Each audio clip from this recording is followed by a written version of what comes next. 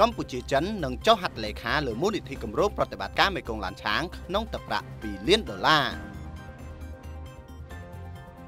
លោកប្រាក់សុខុនឧបនាយករដ្ឋមន្ត្រីរដ្ឋមន្ត្រីការបរទេសកម្ពុជានិងលោកបាងហ៊ុនធានឯកអគ្គរដ្ឋទូតនៃសាធារណរដ្ឋប្រជាមានិតចិនប្រចាំកម្ពុជានឹងអញ្ជើញចុះហត្ថលេខារួមគ្នាលើកិច្ចព្រមព្រៀងស្តីពីមូលនិធិពិសេសសម្រាប់គម្រោងកិច្ចសហប្រតិបត្តិការមេគង្គឡានឆាងឆ្នាំ2023នៅថ្ងៃទី15ខែមិថុនាឆ្នាំ2023ស្អែកនេះនាទីស្តីការក្រសួងដែលមានទឹកប្រាក់2លានដុល្លារ យោងតាមសេចក្តីប្រកាសព័ត៌មានរបស់ក្រសួងការបរទេសខ្មែរនៅថ្ងៃទី13មិថុនាបានឲ្យដឹងថាក្នុងក្របខ័ណ្ឌមូលនិធិពិសេសនៃកិច្ចសហប្រតិបត្តិការមេគង្គឡានឆាងឆ្នាំ